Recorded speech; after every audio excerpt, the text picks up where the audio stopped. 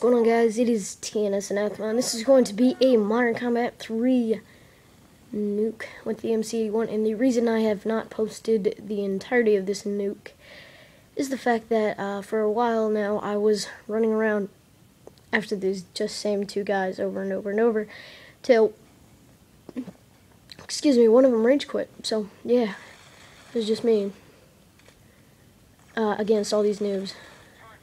That was close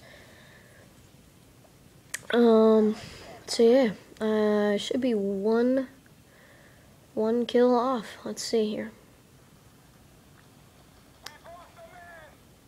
And, bam, got a nuke.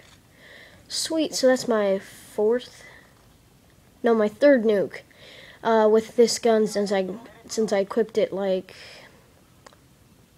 four days ago, I think. Um, it's a pretty good class. I like it. It's nothing, nothing too fancy. Just standard extended mags, which is crucial to this class, and butt stock.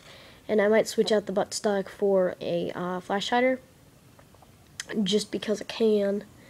And uh, yeah. So I don't want this video to be like super long, but I'll call in some stuff and get me some kills with it.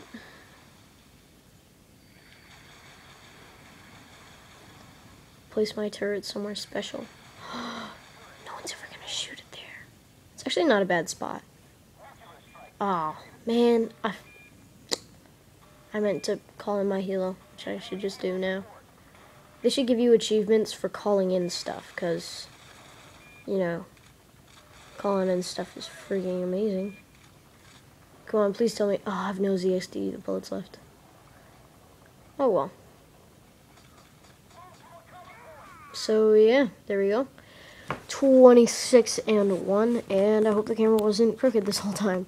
Uh, I apologize for the glare, I know it's really bad, uh, but that's what happens when I record with like my window and stuff open. But anyways, thank you for watching this quick MC81 video, and uh, yeah, I'm going to be uploading Recon for my tips series later on today, so hopefully you guys will stick around for that, and yeah, peace out.